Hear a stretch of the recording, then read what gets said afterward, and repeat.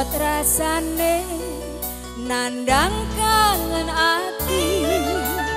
Mergo tresnaku sing gede tansah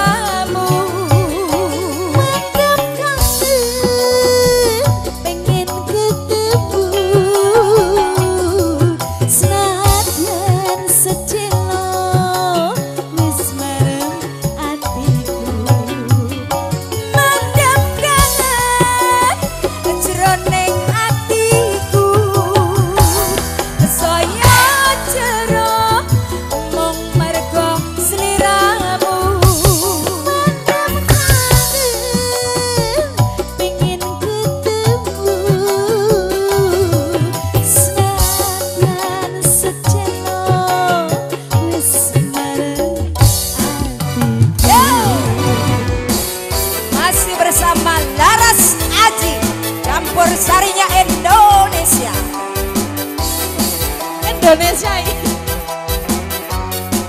Monggo monggo Bapak.